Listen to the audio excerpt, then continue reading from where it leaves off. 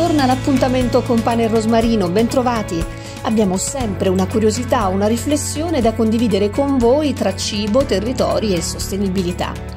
Stavolta a tenere banco sono le consegne a domicilio. A chi non piacciono? Non ci credo, sono comode, ma la vera domanda invece è: sono anche sostenibili? Beh, economicamente dipende dalla vostra bravura, a livello ambientale non proprio.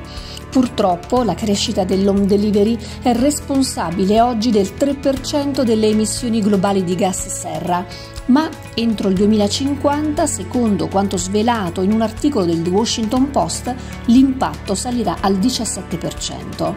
Insomma, il settore del trasporto merci è responsabile di un quinto delle emissioni globali di CO2, dietro soltanto al settore energetico.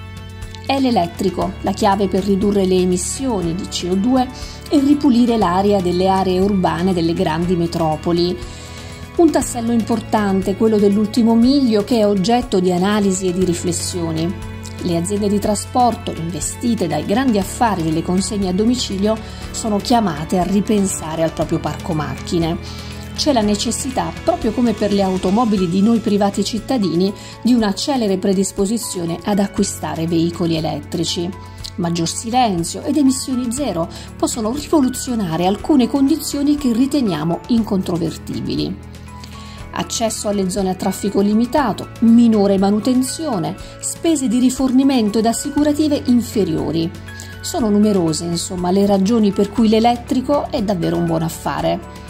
I cambiamenti spaventano, certo, ma è necessario rivedere abitudini che di fatto danneggiano noi e l'ambiente in cui viviamo. Continuate a segnalarci argomenti di interesse all'indirizzo email redazione chiocciola rosmarinonews.it. Noi ci risentiamo la prossima settimana sempre qui su Radio MPA. Nel frattempo seguite i social di Rosmarino News ed anche i miei. Mi trovate cercando Antonella Petitti Food Trotter. Alla prossima!